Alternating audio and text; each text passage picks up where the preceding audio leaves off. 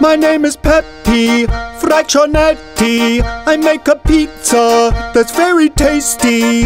If you want to eat a slice or two, I keep a fraction just for you.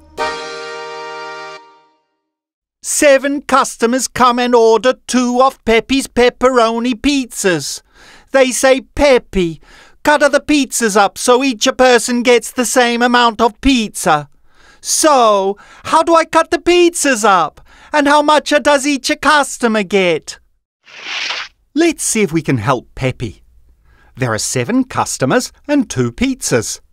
We want to divide the pizzas up into equal sized slices and share them out so each customer gets the same amount of pizza. Let's deal with one pizza at a time. There are seven customers, so let's divide the first pizza up into seven equal sized slices. That way, the first pizza gets shared out equally.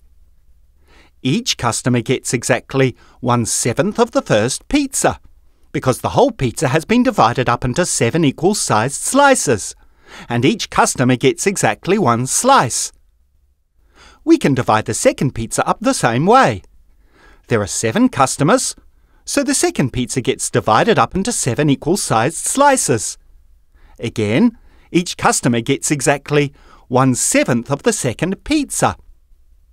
Each customer ends up with one seventh of the first pizza and one seventh of the second pizza, which adds up to a total of two sevenths for each person.